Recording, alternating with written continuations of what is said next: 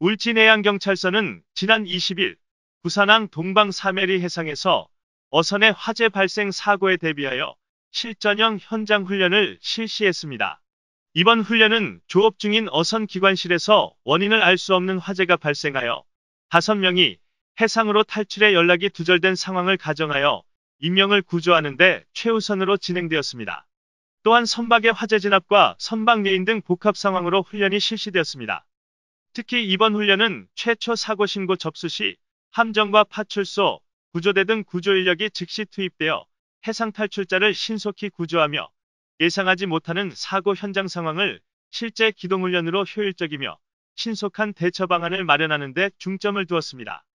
울진해경 관계자는 겨울철 해양사고 발생 시 낮은 수온의 영향으로 사망 등 인명피해가 발생할 가능성이 높아 선주와 선장님들은 출항 시 꼭 철저한 점검을 통하여 해양사고 예방에 최선을 다해주기를 당부드린다고 전했습니다.